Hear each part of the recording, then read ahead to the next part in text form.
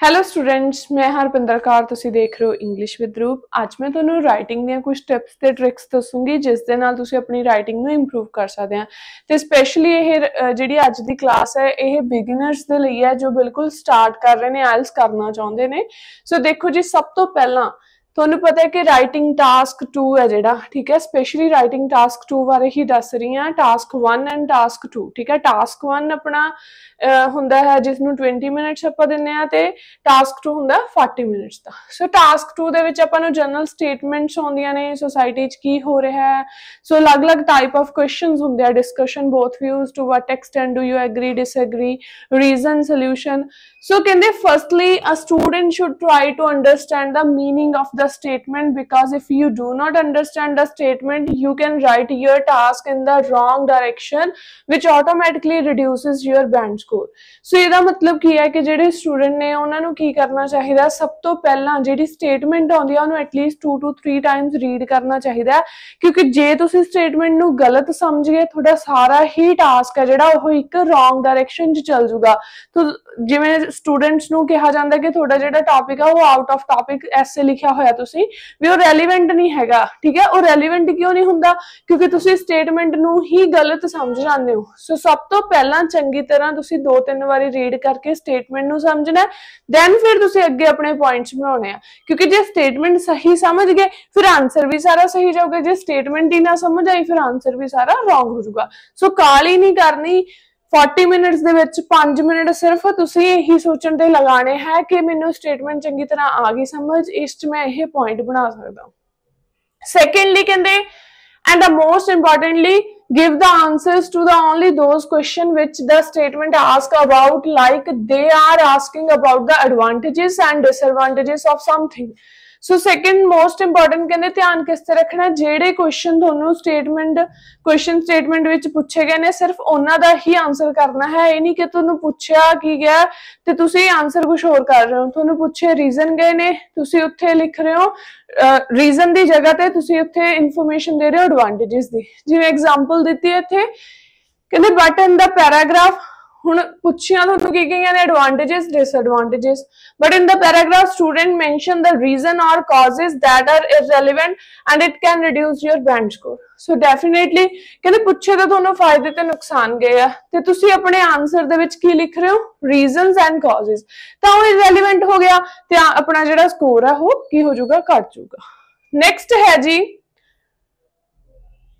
After that ਕਹਿੰਦੇ student should begin with an introduction ਸਾਰਾ ਕੁਝ ਸਟੇਟਮੈਂਟ ਦੇ ਸਮਝ ਲਈ ਸਟੇਟਮੈਂਟ ਦੇ ਵਿੱਚ ਕੁਐਸਚਨ ਟਾਈਪ ਸਮਝ ਲਈ ਕਿ ਡਿਸਕਸ ਬੋਥ ਵਿਊਜ਼ ਹੈ, ਠੀਕ ਹੈ ਐਡਵਾਂਟੇजेस ਡਿਸਐਡਵਾਂਟੇजेस ਨੇ ਜਾਂ ਰੀਜ਼ਨ ਸੋਲੂਸ਼ਨ ਲਿਖਣੇ ਨੇ ਜਾਂ ਐਗਰੀ ਡਿਸਐਗਰੀਮੈਂਟ ਹੈ। ਇਹ ਕੁਝ ਸਮਝਣ ਤੋਂ ਬਾਅਦ ਕਹਿੰਦੇ student should begin with an introduction introduction ਲਿਖਣੀ ਹੁੰਦੀ ਹੈ ਦੈਨ ਬੀਪੀ ਫਿਰ ਆਪਾਂ ਕਨਕਲੂਜਨ ਦੇਣਾ ਹੁੰਦਾ। ਕਹਿੰਦੇ this is crucial because what you write in the introduction must be reflected in the subsequent paragraphs ਕਿਉਂਕਿ ਜੋ ਤੁਸੀਂ ਇੰਟਰੋ ਚ ਲਿਖਦੇ ਹੋ, ਉਹੀ ਅੱਗੇ ਪੈਰਾਗ੍ਰਾਫ ਦੇ ਨਾਲ ਰੈਲੇਵੈਂਸੀ ਹੋਣੀ ਚਾਹੀਦੀ ਹੈ। ਕਹਿੰਦੇ if your paragraphs do not align with your introduction ਜੇ ਤੁਹਾਡੇ ਪੈਰਾਗ੍ਰਾਫ ਤੁਹਾਡੀ ਇੰਟਰੋਡਕਸ਼ਨ ਦੇ ਨਾਲ ਮੈਚ ਨਹੀਂ ਕਰਨਗੇ ਅਲਾਈਨ ਦਾ ਮਤਲਬ ਹੁੰਦਾ ਮੈਚ ਕਹਿੰਦੇ it can negatively impact your band score ਹੁਣ ਇੰਟਰੋ ਚ ਅਗੇਨ ਮੈਂ ਉੱਪਰ ਐਗਰੀ ਕਹਤਾ ਕਿ ਮੈਂ ਐਗਰੀ ਹਾਂ ਇਸ ਸਟੇਟਮੈਂਟ ਨਾਲ। ਬਟ ਬੀਪੀ ਦੇ ਵਿੱਚ ਮੈਂ ਸਾਰਾ ਡਿਸਐਗਰੀਮੈਂਟ ਸ਼ੋ ਕਰਤਾ। ਫਿਰ ਇਹ ਕੀ ਹੋਗੀ ਕੰਟਰਡਿਕਸ਼ਨ ਤੁਹਾਡੇ ਜਿਹੜੇ ਸਕੋਰ ਨੇ ਉਹ ਡਿਡਕਟ ਹੋ ਗਏ। ਕਿਉਂਕਿ ਤੁਸੀਂ ਆਪਣੀ ਇੰਟਰੋ ਦੇ ਨਾਲ, ਆਪਣੇ ਵਿਊ ਪੁਆਇੰਟ ਦੇ ਨਾਲ ਸਹਿਮਤ ਹੀ ਨਹੀਂ ਹੈਗੇ। ਸੋ ਇਹ ਵੀ ਧਿਆਨ ਰੱਖਣਾ ਤੇ ਇਹ ਬਹੁਤ ਸਾਰੇ ਸਟੂਡੈਂਟ ਗਲਤੀ ਕਰਦੇ ਆ। ਟਾਪਿਕ ਹੁੰਦਾ ਐਗਰੀ ਡਿਸਐਗਰੀ ਦਾ, ਉਹ ਅੱਗੇ ਰੀਜ਼ਨ ਸੋਲੂਸ਼ਨ ਦੇ ਦਿੰਦੇ ਆ। ਫॉर ਐਗਜ਼ਾਮਪਲ ਕਹਿੰਦੇ in the intro you said that there are more advantages than disadvantages ਕਹਿੰਦੇ ਇੰਟਰੋਡਕਸ਼ਨ 'ਚ ਤੁਸੀਂ ਕਿਹਾ ਕਿ ਜ਼ਿਆਦਾ ਕੀ ਨੇ, ਫਾਇਦੇ ਨੇ, ਕਿਸ ਨਾਲੋਂ, ਨੁਕਸਾਨ ਨਾਲੋਂ but in the paragraph you mention more disadvantages than advantages ਪਰ ਪੈਰਾਗ੍ਰਾਫ 'ਚ ਤੁਸੀਂ ਕੀ ਗਲਤੀ ਕਰਤੀ? ਤੁਸੀਂ ਕਹਤਾ ਕਿ ਜ਼ਿਆਦਾ ਕੀ ਨੇ, ਨੁਕਸਾਨ ਨੇ। ਤੇ ਘੱਟ ਕੀ ਨੇ ਫਾਇਦੇ ਨੇ ਐਡਵਾਂਟੇजेस ਨੇ ਸੋ ਇਹ ਕੀ ਹੋ ਗਈ ਕਹਿੰਦੇ ਕੰਟਰਡਿਕਸ਼ਨ ਹੋ ਗਈ ਤੁਹਾਡੀ ਸਟੇਟਮੈਂਟ ਨਾਲ ਸੋ ਐਸੇ ਕਰਕੇ ਜੇ ਉੱਪਰ ਕੀ ਹੈ ਕਿ ਜ਼ਿਆਦਾ ਫਾਇਦੇ ਨੇ ਤਾਂ ਨੀਚੇ ਵੀ ਫਾਇਦੇ ਮੈਂਸ਼ਨ ਜ਼ਿਆਦਾ ਕਰਨੇ ਆ ਜੇ ਉੱਪਰ ਨੁਕਸਾਨ ਕੀ ਹੈ ਇੰਟਰੋ 'ਚ ਤਾਂ ਨੀਚੇ ਵੀ ਨੁਕਸਾਨ ਬਲਕਿ ਐਗਰੀ ਰਹਿਣਾ ਆਪਣੇ ਵਿਊ ਪੁਆਇੰਟ ਦੇ ਨਾਲ ਨੈਕਸਟ ਹੈ ਜੀ use your starters more wisely at the beginning of the BPs in the statement ਸੋ ਆਪਣੇ ਸਟਾਰਟਰਸ ਦਾ ਯੂਜ਼ ਕਰੋ ਵਧੀਆ ਤਰੀਕੇ ਨਾਲ ਠੀਕ ਹੈ ਕਿ ਕਿਵੇਂ ਤੁਸੀਂ ਸ਼ੁਰੂਆਤ ਕਰਨੀ ਹੈ? They are asking about problems, but at the start of the paragraph first, you said that many reasons are also wrong. ਠੀਕ ਹੈ? ਉਹਨਾਂ ਨੇ ਪੁੱਛਿਆ ਕੀ ਗਿਆ? ਪੈਰਾਗ੍ਰਾਫ ਦੇ ਵਿੱਚ ਪ੍ਰੋਬਲਮਸ ਤੇ ਤੁਸੀਂ ਕੀ ਦੇ ਰਹੇ ਹੋ? ਰੀਜ਼ਨ ਦੈਨ ਫਿਰ ਗਲਤ ਹੋ ਜੂ ਸਟਾਰਟਿੰਗ ਬਿਲਕੁਲ ਪ੍ਰੋਪਰ ਕਰੋ। ਜੇ ਤੁਹਾਨੂੰ ਸਟੇਟਮੈਂਟ ਐਗਰੀਡਿਸ ਮੈਂ ਐਗਰੀ ਦਿਆ ਤਾਂ ਉਸ ਤਰ੍ਹਾਂ ਆਪਣਾ ਬੀਪੀ ਬਣਾਓ। Reason solution and reason solution advantages disadvantages ਤਾਂ ਉਸ ਦੇ ਅਕੋਰਡਿੰਗ ਜੇ ਤੁਹਾਨੂੰ ਐਡਵਾਂਟੇजेस ਡਿਸਐਡਵਾਂਟੇजेस ਨੇ, ਤਾਂ ਉਸ ਦੇ ਅਕੋਰਡਿੰਗ ਆਪਣੇ ਬੀਪੀ ਦੀ ਸਟਾਰਟਿੰਗ ਕਰੋ।